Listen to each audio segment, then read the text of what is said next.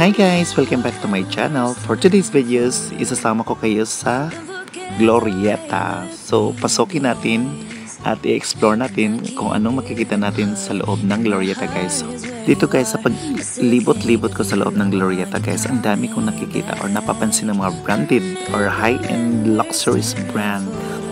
Which is, makikita nyo sa loob guys, yung Bulgari, Fendi, at Hermes, at many more guys. So, Hope you like this video and enjoy.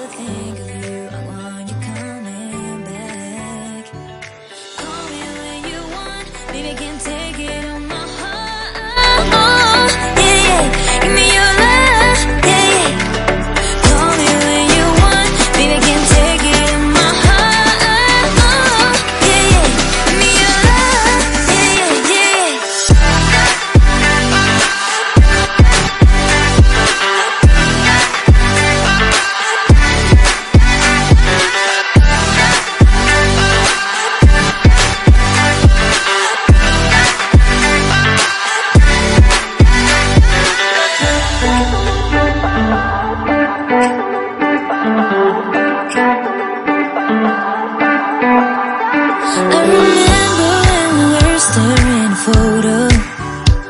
forget the way you look me in the eyes. And I keep you in my heart. In my heart is where you are. I still think.